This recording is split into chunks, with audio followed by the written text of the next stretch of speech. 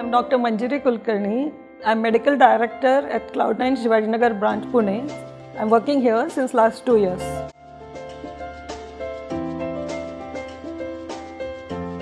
Endometrium is a dynamic thing. Every month it is built up, it remains stationary and then at the time of menstruation it is shed off. The increased thickness signifies different things at, according to the age of the patient.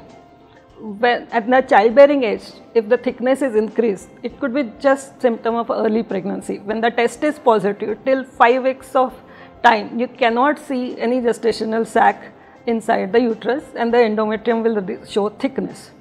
During perimenopausal age, when the menstruation is there but the ovulation has stopped, the progesterone is not produced in the body. So, because of the excess level of estrogen, the endometrial thickness goes on increasing.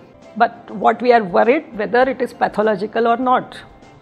So, during perimenopause and especially during menopausal age, if the thickness has increased, there could be some pathology. The pathology could be benign, which are called as endometrial polyps, or sometimes very sinister one, which are the either the hyperplasias, which could be the precursors of carcinomas or frank carcinoma. So, according to the age of the patients, we have to tell her the treatment and diagnose